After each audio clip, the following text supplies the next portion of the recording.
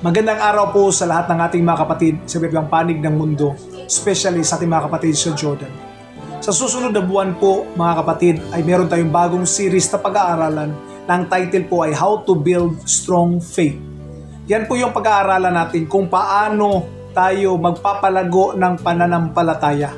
So sa pag-aaral na ito, meron pong anim na linggo na kung saan ang atin pong mga preachers ay mangangaral sa salita ng Panginoon. Ito po ang mga topic na atin pong pag-uusapan. Number one is living by faith. Pangalawa, enduring tough times. Pangatlo, overcoming offense. Number four, fighting fear. Number five, defeating worry or defeating worry.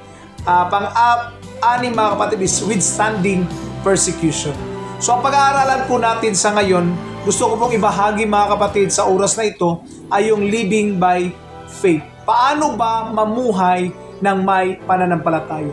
Ang sabi ng Romans chapter 4 verse 19 to 21, ito po pagkasabi, Without weakening in his faith, he faced the fact that his body was as good as dead, since he was about a hundred years old, and that Sarah's womb was also dead.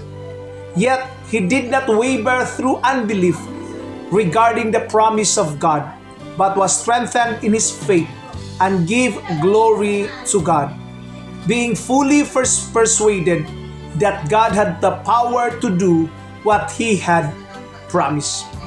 Ito po ay patungkol sa buhay ni Abraham. Na kahit po si Abraham ay matanda na, minup minupos na si Sarah, si Abraham ay mikupos, at alam natin mga kapatid na wala na talagang pag-asa na magkaroon pa sila ng anak due to his age. But because of faith, Abraham did not waver in unbelief. Hindi siya namuhay doon sa kawalang pag-asa. Bagkus na ng palataya na ang mga sinabi ng Lord ay kaya niya ring tutuparin. So this is the first point that, that point that I want to share. Faith faces the problem but focusing on the promise ang pananampalataya ay humaharap sa problema yan. Hindi yan natatakot sa problema. Humaharap yan sa problema. Pero ang kanyang focus ay nandoon sa promise. Ang sabi ng Bible kay Abraham, he did not waver in his faith. In short, he focused all of his heart on the promises of God. Abraham did not deny the fact that he was too old to have a child. Abraham didn't also deny the fact that his wife is old also to have a child. But, but, Abraham believed that God is able to perform what he had promised. Second point, faith believes that God is willing and able to fulfill his promise. Sabi ng Hebrews chapter 11 verse 11, by faith Abraham, even though he was past age and Sarah herself was barren, wasn't able to become a father because he considered him faithful who had made the promise. Abraham believed that God is faithful in his promise. Abraham was fully persuaded that God has all the power to fulfill his promise at kayang gawin ng Diyos at handa niyang gawin ito. Ngayon, kung alam mo na ang Diyos ay kaya niya palang gawin ang lahat ng bagay, ano pa bang kinakakabahala mo? Pangatlo kapatid, faith believes that God is a rewarder. Ang sabi ng Hebrews, For without faith, it is impossible to please God. Because anyone who comes to Him must believe that He exists and He is or He rewards those who earnestly seek Him.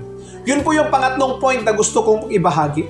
Kung walang pananampalataya, imposible na kalugdan ang Diyos. Kapatid, ano bang sitwasyon mo ngayon sa buhay? Ano mang kinakaharap mo ngayon sa buhay? Magtiwala at manampalataya kahit problema pa iyong kinakaharap sa oras na ito. Muling magtiwala na may Diyos na nagmamahal sa inyo. At sa loob po ng anim na linggo, ang atin pong mga mangangaral ay mangangaral sa inyo sa mga topic po na aking binanggit Nawa po kayo ay mabigyan ng inspirasyon nitong ating series ng pag-aaral upang sa ganun kayo po'y mapagpatibay sa inyong pananampalataya. Once again, ang atin pong series mga kapatid ay How to Build Strong faith. Ito'y anim na mga lessons na pag-aaralan natin sa ating iglesia at ipapangaral ng ating mga mga ngaral bawat pagtitipo natin mga kapatid. Nawa po, kayo po ay magkaroon ng pananampalatayang matibay sa Panginoon.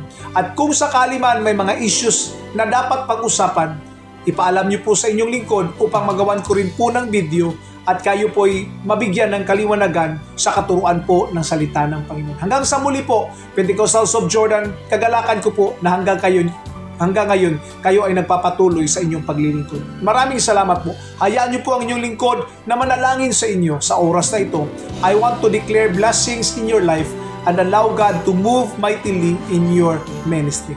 Father in heaven, I declare and I proclaim your abundant life and blessings to all my brothers and sisters who are in Jordan, O God. Pagpalain mo ang aming ah, Pangulo o nangunguna sa pangumagang panambahan, Sister Diding, Panginoon, maging si Sister Pinky, Panginoon, sa afternoon service, O God. At sa lahat ng aming mga kapatiran, mga leaders ng iglesia, patuloy niyo pong palakasin, pagtibayin, Panginoon, at hayaan ng iyong kalakasan ang siyang dadaloy at lumukob sa kanila. Sa pangalan ni Jesus, Amen. Paalam mga kapatid, maraming salamat.